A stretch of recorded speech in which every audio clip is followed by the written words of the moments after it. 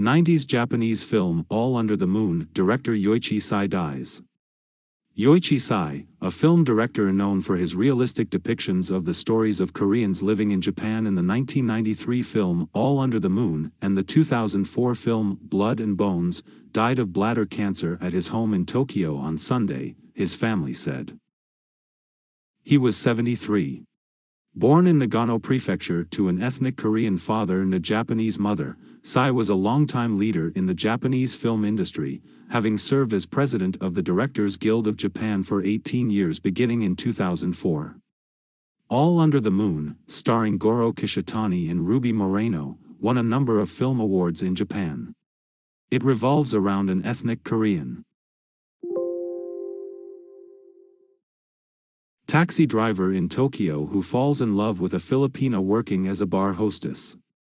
It was director Sai who taught me how interesting and wonderful a movie can be, said Kishitani. I love the energetic, wild, and sensitive nature of the unique filming experience that could only be made possible by Mr. Sai and his team.